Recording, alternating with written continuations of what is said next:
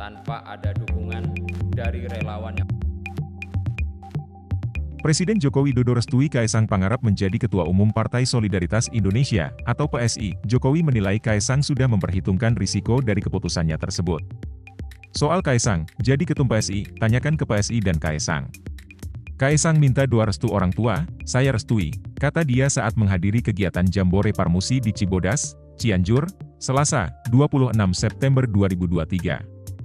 Jokowi mengatakan dalam keluarganya sudah dibiasakan untuk mandiri dan tanggung jawab atas semua keputusan yang diambil. Dia juga meyakini jika Kaisang sudah memperhitungkan baik dan buruk, serta memperhitungkan risiko terkait apa yang diputuskannya. Di dalam keluarga terbiasa kalau sudah berkeluarga apalagi istri.